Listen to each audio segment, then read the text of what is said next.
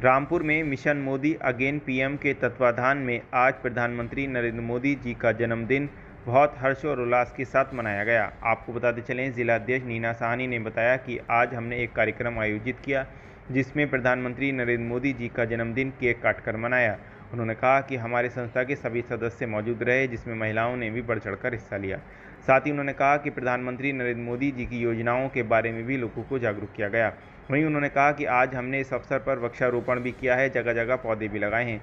वहीं उन्होंने कहा कि हमारे देश के प्रधानमंत्री नरेंद्र मोदी जी के नेतृत्व में देश ने तरक्की की है। वहीं अब आइए सुनते हैं जिलाध्यक्ष नीना साहनी और क्या कह रही हैं।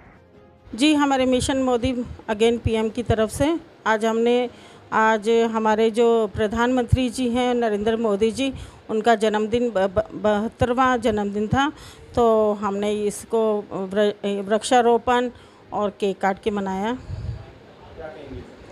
इसमें मैं यही कहूँगी कि आप भाई हमारे मोदी जी ने इतना कुछ किया है हमारे देश के लिए।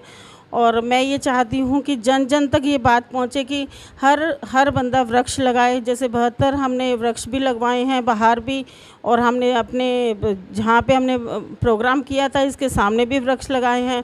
तो मैं ये चाहती हूँ हर बंदा एक एक वृक्ष ज़रूर लगाए।